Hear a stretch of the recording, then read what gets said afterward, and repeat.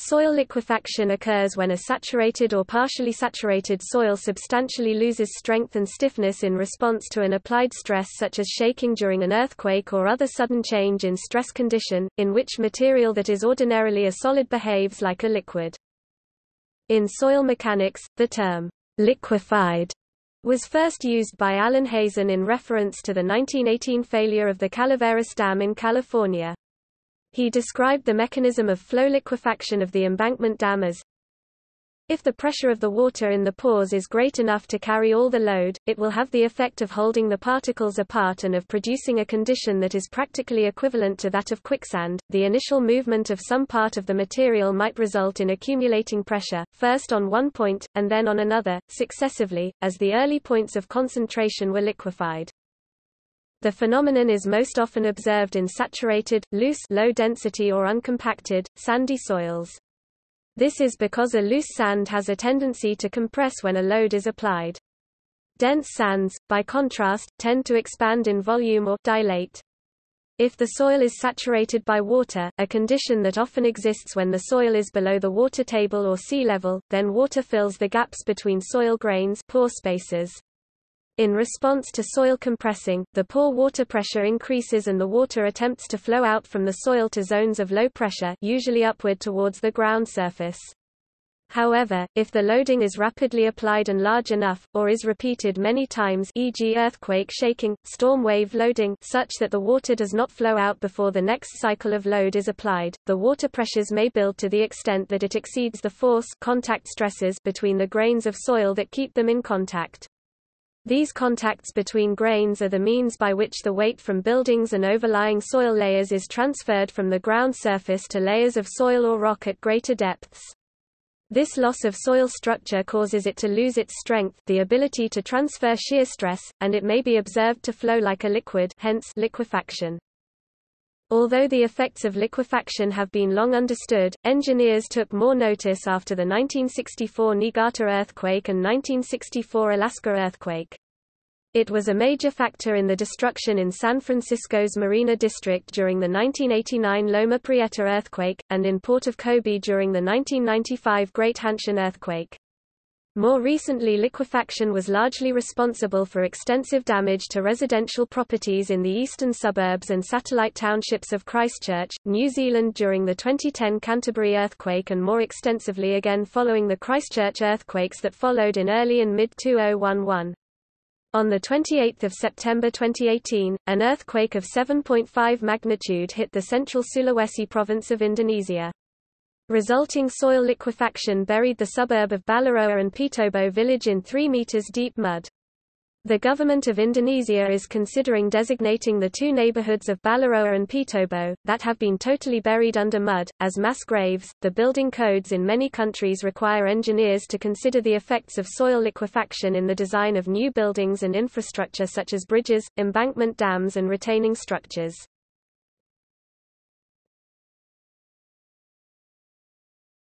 Topic: Technical definitions. Soil liquefaction occurs when the effective stress shear strength of soil is reduced to essentially zero.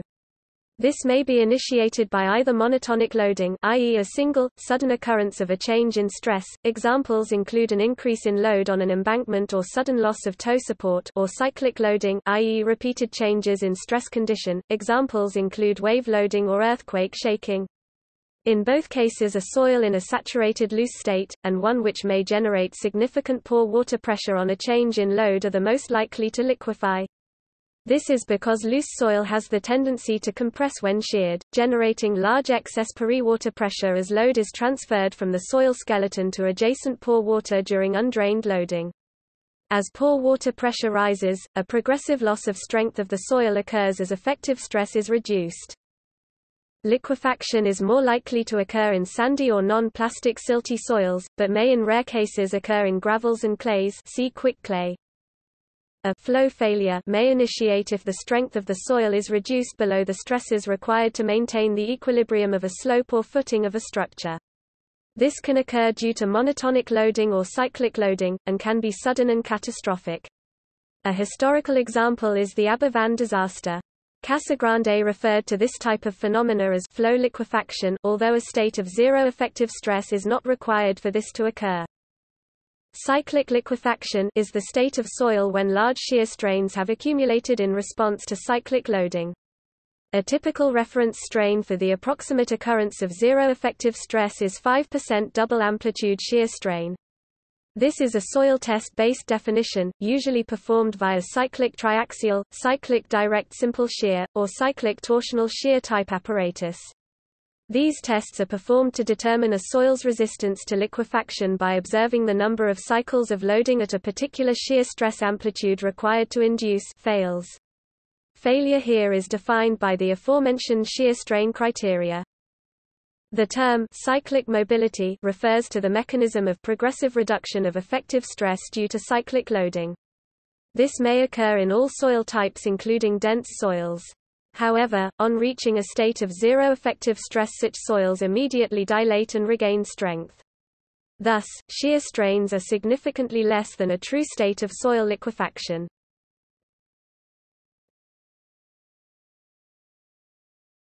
Topic: Occurrence Liquefaction is more likely to occur in loose to moderately saturated granular soils with poor drainage, such as silty sands or sands and gravels containing impermeable sediments. During wave loading, usually cyclic undrained loading, e.g. seismic loading, loose sands tend to decrease in volume, which produces an increase in their pore water pressures and consequently a decrease in shear strength, i.e. reduction in effective stress. Deposits most susceptible to liquefaction are young Holocene age, deposited within the last 10,000 years sands and silts of similar grain size well sorted, in beds at least meters thick, and saturated with water. Such deposits are often found along stream beds, beaches, dunes, and areas where wind-blown silt and sand have accumulated. Examples of soil liquefaction include quicksand, quickclay, turbidity currents and earthquake-induced liquefaction. Depending on the initial void ratio, the soil material can respond to loading either strain softening or strain hardening. Strain softened soils, e.g. loose sands, can be triggered to collapse, either monotonically or cyclically, if the static shear stress is greater than the ultimate or steady-state shear strength of the soil. In this case flow liquefaction occurs, where the soil deforms at a low constant residual shear stress. If the soil strain hardens, e.g. moderately dense to dense sand, flow liquefaction will generally not occur. However, cyclic softening can occur due to cyclic undrained loading, e.g. earthquake loading. Deformation during cyclic loading depends on the density of the soil, the magnitude and duration of the cyclic loading, and amount of shear stress reversal. If stress reversal occurs, the effective shear stress could reach zero, allowing cyclic liquefaction to take place. If stress reversal does not occur, zero effective stress cannot occur, and cyclic mobility takes place. The resistance of the cohesionless soil to liquefaction will depend on the density of the soil, confining stresses, soil structure, fabric, age and cementation, the magnitude and duration of the cyclic loading, and the extent to which shear stress reversal occurs.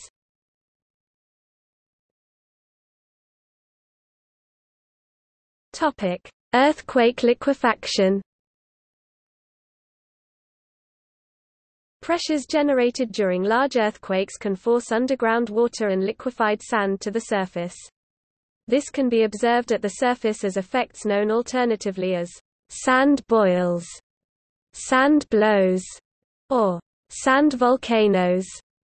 Such earthquake ground deformations can be categorized as primary deformation if located on or close to the ruptured fault, or distributed deformation if located at considerable distance from the ruptured fault. The other common observation is land instability, cracking and movement of the ground down slope or towards unsupported margins of rivers, streams, or the coast. The failure of ground in this manner is called lateral spreading, and may occur on very shallow slopes with angles only 1 or 2 degrees from the horizontal.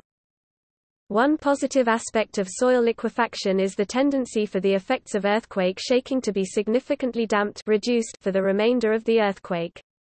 This is because liquids do not support a shear stress and so once the soil liquefies due to shaking, subsequent earthquake shaking transferred through ground by shear waves is not transferred to buildings at the ground surface. Studies of liquefaction features left by prehistoric earthquakes, called paleoliquefaction or paleoseismology, can reveal information about earthquakes that occurred before records were kept or accurate measurements could be taken. Soil liquefaction induced by earthquake shaking is a major contributor to urban seismic risk.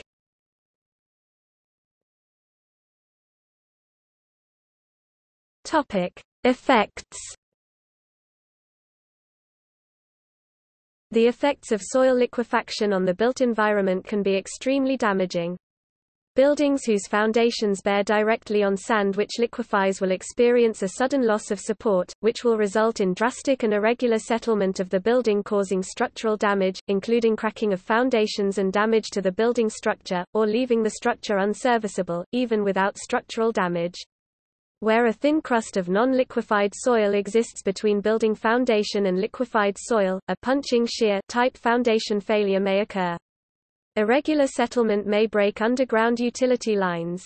The upward pressure applied by the movement of liquefied soil through the crust layer can crack weak foundation slabs and enter buildings through service ducts, and may allow water to damage building contents and electrical services.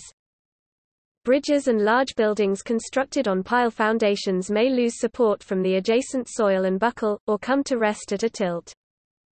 Sloping ground and ground next to rivers and lakes may slide on a liquefied soil layer termed lateral spreading, opening large cracks or fissures in the ground, and can cause significant damage to buildings, bridges, roads and services such as water, natural gas, sewerage, power and telecommunications installed in the affected ground.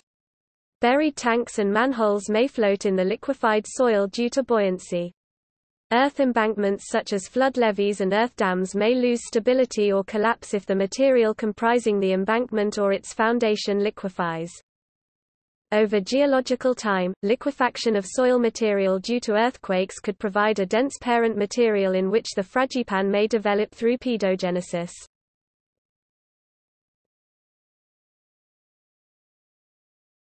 Topic: Mitigation methods. Mitigation methods have been devised by earthquake engineers and include various soil compaction techniques such as vibrocompaction compaction of the soil by depth vibrators, dynamic compaction, and vibrostone columns.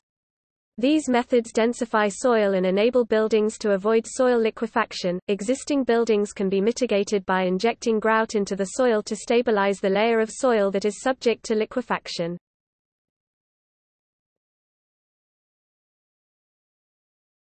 Topic: Quicksand.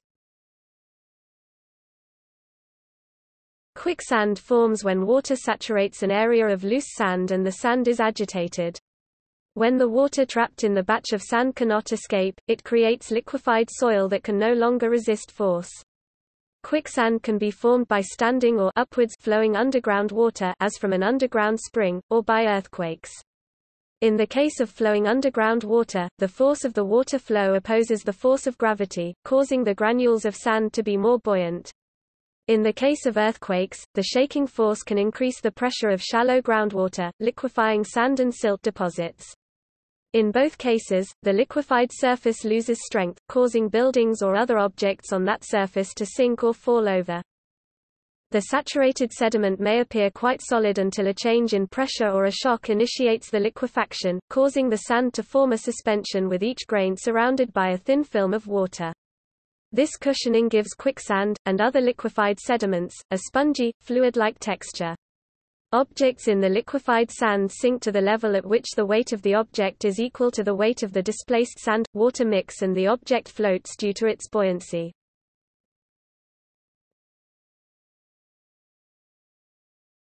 Topic: Quick clay. Quick clay, known as Leda clay in Canada, is a water-saturated gel, which in its solid form resembles highly sensitive clay. This clay has a tendency to change from a relatively stiff condition to a liquid mass when it is disturbed. This gradual change in appearance from solid to liquid is a process known as spontaneous liquefaction. The clay retains a solid structure despite its high water content up to 80% by volume, because surface tension holds water-coated flakes of clay together. When the structure is broken by a shock or sufficient shear, it enters a fluid state. Quick clay is found only in northern countries such as Russia, Canada, Alaska in the US, Norway, Sweden and Finland, which were glaciated during the Pleistocene epoch. Quick clay has been the underlying cause of many deadly landslides.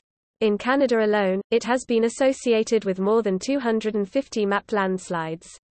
Some of these are ancient, and may have been triggered by earthquakes.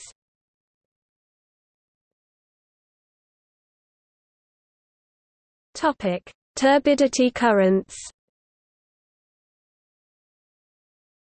Submarine landslides are turbidity currents and consist of water-saturated sediments flowing downslope.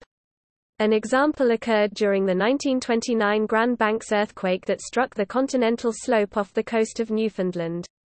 Minutes later, transatlantic telephone cables began breaking sequentially, farther and farther downslope, away from the epicenter. Twelve cables were snapped in a total of 28 places. Exact times and locations were recorded for each break. Investigators suggested that a 60 mile per hour, 100 kilometers per hour submarine landslide or turbidity current of water-saturated sediments swept 400 miles, 600 kilometers down the continental slope from the earthquake's epicenter, snapping the cables as it passed.